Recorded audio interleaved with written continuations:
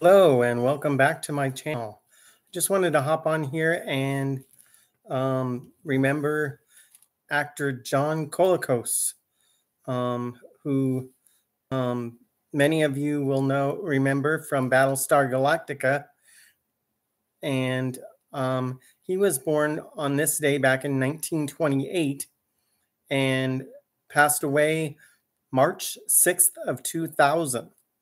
He was a Canadian actor known for these particular roles. He was in The Changeling in 1980.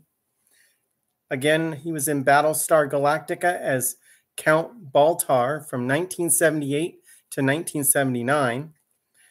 He was on Star Trek as a character called Kor in 1967 and then reprised that role on Star Trek Deep Space Nine in 1994 to 1998, which was three episodes.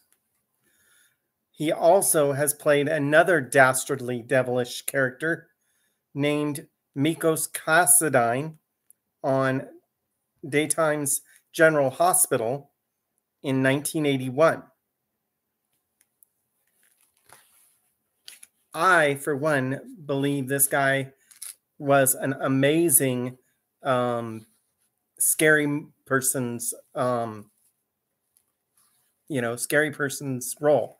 He did great work on battlestar galactica and he did an awesome job on um, general hospital as mikkos cassadine.